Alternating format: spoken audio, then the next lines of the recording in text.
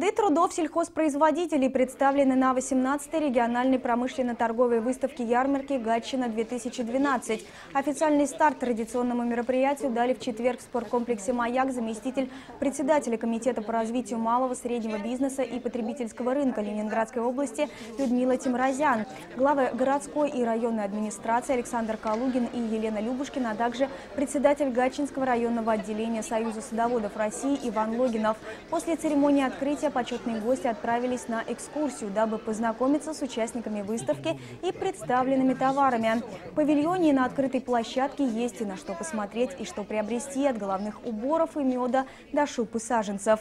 По словам организаторов, на участие в выставке в этом году поступило около 300 заявок. География участников весьма разнообразна. Гатчина и Гатчинский район, Ленинградская область и Санкт-Петербург еще 19%, представители других регионов России от Воронежа до Казани. Выставка «Ярмарка Гатчина-2012» продолжит свою работу в универсальном спорткомплексе «Маяк» на улице Чехова и в течение выходных. В субботу, 8 сентября, здесь ждут гостей с 10 до 18 часов, 9 сентября с 10